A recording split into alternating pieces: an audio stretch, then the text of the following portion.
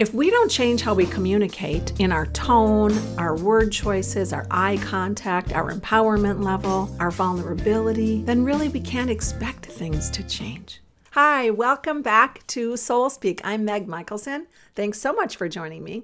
And if you're new to the channel, thank you for starting with me today.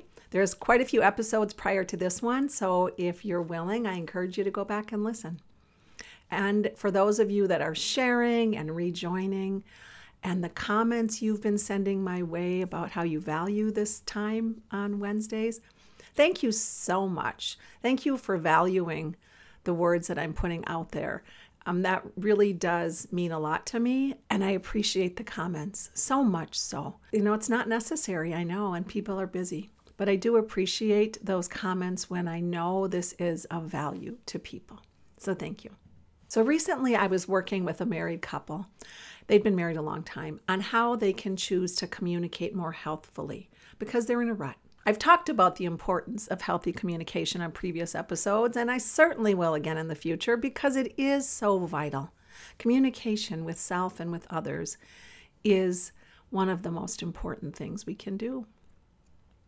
So, communication is key in any relationship.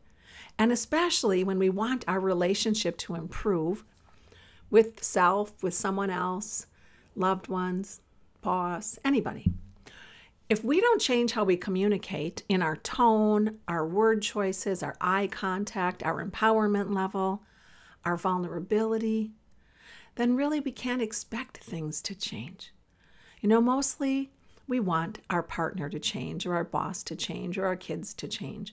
Because just like that episode with Jacob and how comfortable it is to stay in that funk, to stay in that place when it doesn't feel so good to be living. It's like, uh, that same can be true of wanting to stay in our comfort zone and expect our partner to change.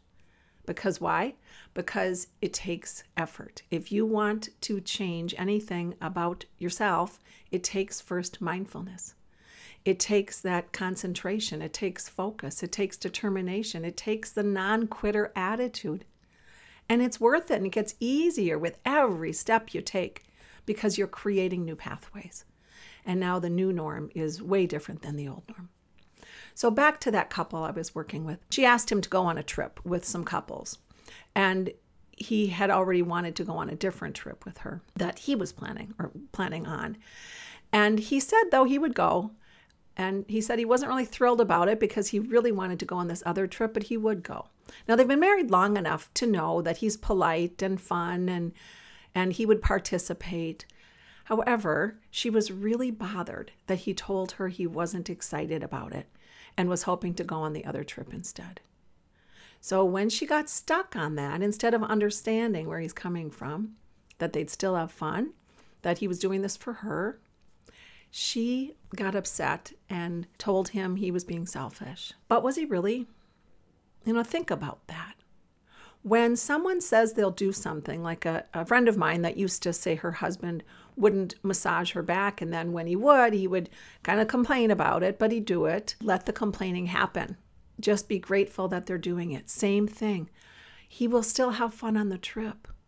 However, when we focus on it's not perfect, then everything is going down. We are here and now we're dropping down. And I'm going to explain that in a minute. When we want to change a pattern with ourself or with someone else, we need to get clear about that intention. We need to get clear. What is my intention with this relationship? What do I want? Now, what am I choosing to co create?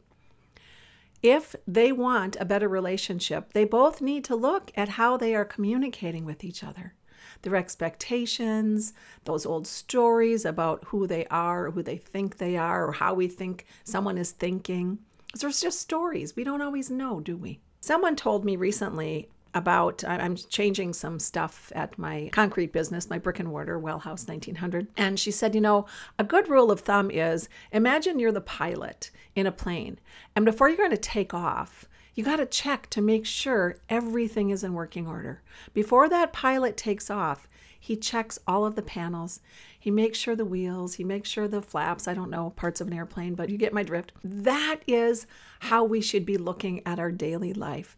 And that is how we should be looking at anything we want to change. Wait a minute. Am I ready? Do I know where I'm going? Are all of my pieces in place? And what is my intention? What's my goal? Now it's easier to move forward with something, but it is both people always. You know, we climb the ladder. When I say we're here, hopefully in this lifetime, for me anyway, I want to climb the ladder of evolution. I want to have this lifetime for me, not perfection, because I'll never be that, nor do I even want to be perfect. So, in this lifetime, we climb this ladder of soul evolution we climb this ladder of human evolution. And there are many rungs on that ladder, and sometimes we're going up and sometimes we're jumping back down. We might be tempted to shift down to the lower rungs when we our mood changes or someone pushes our button. Stories from our past, whenever we're triggered, then we can go down. Ideally, however, we don't let other people bring us down those rungs. So, for instance, if uh, Nancy, who wanted to go on that trip, was here, her husband disappointed her by saying he didn't really want to go, but he would. So he was down here a little disappointed. She's up here happy. And then he says that. And now she dropped down. Now she's mad and angry. And here they are down here expecting. Both of them are dropped. Say they went from ladder, rung ladder six, and now they dropped to two where they're bitter and resentful. And that's up to her. Nancy didn't have to let herself drop down so far on the ladder. That's up to us to choose. Do we want to stay up or are we going to let those triggers drop us back down?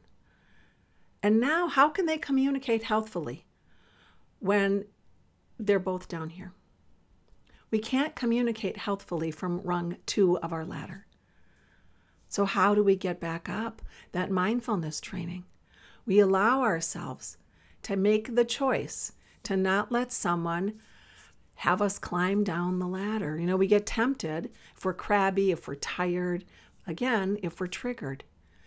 If we pull up something from our past, now we go down the ladder. And we can stay there, but how do we get out? We have to take action steps. We have to go back to our goal. We have to go back to our intention. We have to remember it. Okay, my intention is to become a better communicator. So, can I communicate healthfully when I feel like this sucks? No. No, but I can breathe and I can find ways to get back up onto a higher rung of that ladder by finding something to be grateful for, by telling myself the truth. You know, actually, they're going on the trip with me and let's talk about how we can have fun together right? They could they could come from a place of co-creation communicate why he's disappointed instead of her getting mad and just shutting that door. We want to open that up because it's a choice. It's a choice for her to drop down and stay on the lower rung or she could be in compassion and say you know let's talk about that why did you want to go on the other trip instead of this one? And I really appreciate that you're going to go with me. And let's try to do this from a way that you feel satisfied too. What if we did that instead of going into the old pattern of just being mad? Because every situation throughout the day can drop us from the rung eight to the rung two, the rung six to the rung one or on the ground floor where we think everything sucks. We have to be steadfast and allow ourselves and give ourselves incentive to get back up. What's my goal? And sometimes it helps actually if you give yourself mini goals. I'm going to do this for myself. I'm really working on how I com- communicate from a healthier place, from a higher rung on that ladder. And then I'm going to do something that I wanted to do just for me maybe take a class, right? Maybe for me, be like, I'm going to go sign up for a pottery class. Because as we step up that ladder, and if our partner's not on that same rung, We're going to be triggered a lot.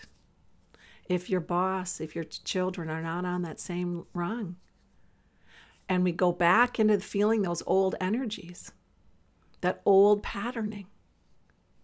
But we are trying to create the new patterning, new patterning, so we need to open the mind. We need to find ways to understand other people. We need to find ways to be in compassion with someone else's story. And like I said, a different podcast episode, we also want to create the safe container because it's easy to get comfortable and stay stuck.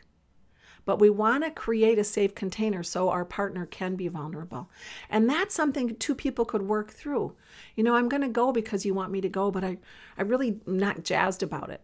Well, let's talk about that. Can we make it more exciting? What are some things that we can do? And, you know, I really appreciate that you're going to go when you don't really want to. I appreciate that you're doing that for me. So, as this continues to unfold, where you are in your story, where you are in the relationship with someone else, as those triggers happen, that's time to just pause and do a little bit of a dive. And I don't mean go down the ladder. We can, we can drop a rung, we can drop six rungs, and then we can choose wait a minute, let's go back and tell the truth now. What's the truth, and where can I problem solve this? Because for those of you that choose to be healthy problem solvers, and I'm not saying fixers, healthy problem solvers when it is your problem to solve, it's a good place to check where you're at because we cannot solve problems in a very healthy state if we're down on the second rung of the ladder. So we want to get back up on a higher rung. And that's where healthy solutions come from. And even just stepping into something about that person that you like, or the truth of, you know, that's really kind of them that they're going to do this when they'd rather do something else. Every single day, we get to choose where we are on that ladder. And this is reminding me of I had a meditation one time and I saw this incredible light, beautiful light source. It was so powerful, it was hard for me to stay in that in that energy field. But I noticed a circle, and at the top of that circle was this incredible light, and at the bottom of the circle was lack of light. It was just absence of light. And at any given day, where are we on that circle? We can be near the top, I don't know how, how, how long as humans we can sustain that because we're human and we're imperfect and we have all these emotions. But check where you are. Check where you are on the ladder, check where you are in the circle. Because some days, if you're halfway down on the right side of the circle, you're between feeling that darkness and feeling the light. That's comfortable. Or do you want to check in and raise your vibration and get it a little closer to that light? And we do that absolutely by honoring ourselves first. So, in any relationship dilemma, we want to pause and honor self first without dishonoring the other person. We don't want to dishonor the other person. And we also want to remember that we're not damaged goods. No one is damaged goods. We all have stuff we're working on. So, if on those days that you're way down on that ladder, or on those days when you're in the circle but you're closer to feeling more of the lack of light than light. Remind yourself all the good things that you've done. Remind yourself all of the ways you have been kind to yourself and others. Because we all have stuff we're working on. And we can always get back up the ladder rungs. We can always get back up to near the top of that beautiful divine light through that, remember, we have to make our life about us, not just about the partnership. But the happier we are, the easier it is. And I mean with our own life. The easier it is to be happy in a relationship. Affairs happen, and I think I've talked about this before second chakra. Affairs happen when we are not living a life that we love and we're not connecting with our partner in healthy ways. And instead of finding healthy ways to get creative and get our juices flowing, then we are putting our happiness in someone else's lap. So when the when the affair ends, we go back down, right? Or when that person can sustain it, when it's not all bliss, But that's where we can come back in and say, wait a minute, what's my life like? What's my life like? Because if I want to gain momentum in this lifetime, if I want to evolve to a higher rung in this lifetime, I've got to be honoring myself and then, of course, honoring others. But I also want to be making sure that I am making my life about me. And when we make our life about me, that can seem egotistical. However, not in the in the way of symbolic sight. Think of it this way. If we are making our life about me in a healthy way, I'm honoring me, I'm working on me, I'm not going to let people trigger me so much. I'm still going to be involved with people and I'm still going to ask questions when I don't understand because that's how I'm going to gain clarity. Because again, it's about me. It's the unhealthy way when we make things about me, when I feel slightly or a lot offended when someone says something or they don't return my call when we are taking things personally too much and feeling disempowered, that's the shadow side of making everything about us. However, we can do it from the way of understanding wait a minute, how is this triggering me and why? And now it's really about us in a healthy way. So you look at it from the standpoint of your symbolic sight. What am I to learn from this? If I'm allowing myself to learn something from this, then I'm using my symbolic sight in a healthy way. I'm having this experience of making it about me in a healthy way. And with that couple, when they're realizing, ah, every time I get triggered, I'm dropping my energy down into the pit. And now I can get stuck there and blame it all on you. Or I can pause and check in with myself. Wait a minute. I'm now down on the second rung of the ladder but I don't want to be here.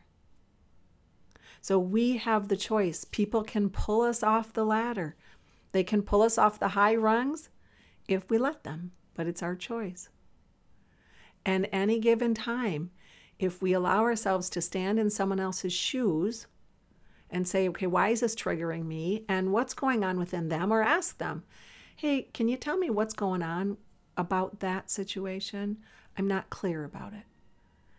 Now we are moving into those higher realms again.